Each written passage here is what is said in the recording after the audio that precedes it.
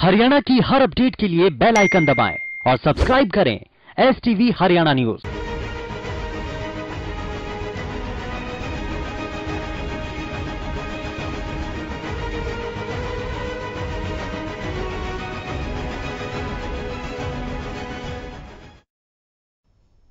नमस्कार, आप देख रहे हैं खबर गरम है और मैं हूँ आपके साथ मनीषा झा।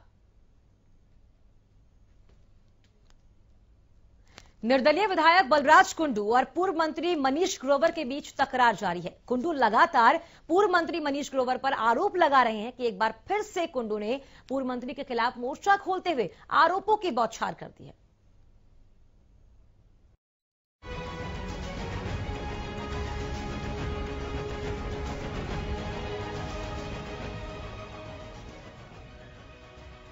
महम से निर्दलीय विधायक बलराज कुंडू ने एक बार फिर से पूर्व सहकारिता मंत्री मनीष ग्रोवर के खिलाफ मोर्चा खोल दिया है। कुंडू ने आरोप लगाते हुए कहा कि आहूजा बैरल के नाम से पूर्व मंत्री की अपनी कंपनी थी, जिसमें 500 से 700 करोड़ का घोटाला किया गया। आहूजा बैरल और एक और रोहतक की कंपनी, दो इसकी अपनी जो कंपनी है, इसके मामे के लड़के हैं, और ये पेरेंटल धंधा है मनीष ग्रोवर जी का। ये शुरू से आप सब जानते हैं। उन्हीं के नाम पे सारा खेल हुआ है। ये सारा उसी के नाम से खेल। वो पानीपत का अस्सी हज़ार टन पानीपत शुगर मिल से गायब हुआ और उसको गायब करने का एक ही रास्ता पाइपलाइन का जो डिस्टिलरी में जाता है, वहाँ भी कोई रिकॉर्ड नहीं, वहाँ से, वहाँ पे दो नंबर में सेपरेट बनी, वो बाहर गई, ये सब बहुत बड़ा कर्म कांड किया हुआ निर्दलीय विधायक ने कहा कि हरियाणा की शुगर मिलों को 3300 करोड़ का खाटा हुआ। लेकिन ये खाटा नहीं, बल्कि घोटाला है।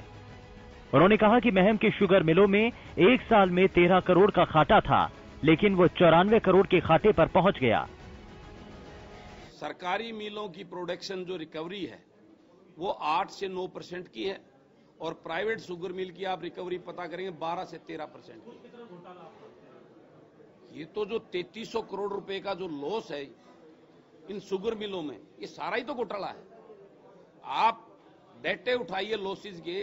2013 मात्र 10-12 करोड़ रुपए का लॉस एक मिल दिखाता था। आज वही मिल 100 करोड़ रुपए का घाटा दिखाने का काम कर रहे हैं।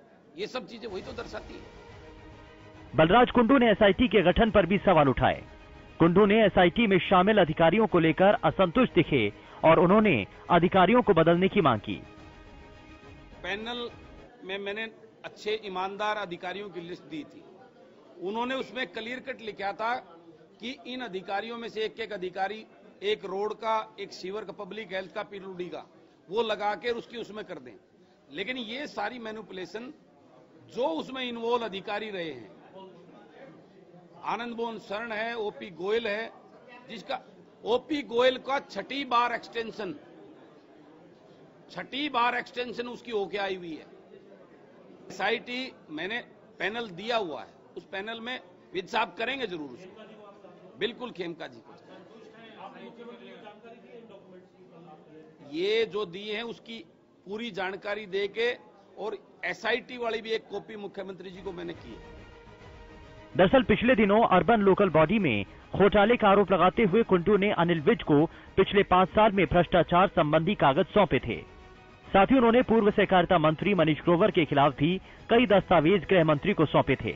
और जाँच की मांग की थी, जिसके बाद अनिल विज ने इस पूरे मामले की जाँच के लिए एसआईटी के गठन के आदेश दे दिए थे और एक महीने में रिपोर्ट मांगी थी। लेकिन बलराज कुंडू एसआईटी में शामिल अधिकारियों से संतुष्ट नहीं दिखे और कई अधिकारियों के शामिल होने पर ऐतराज जताया। हरियाणा न्यूज़ के लिए चंडीगढ़ से राकेश गुप्ता की रिपोर्ट।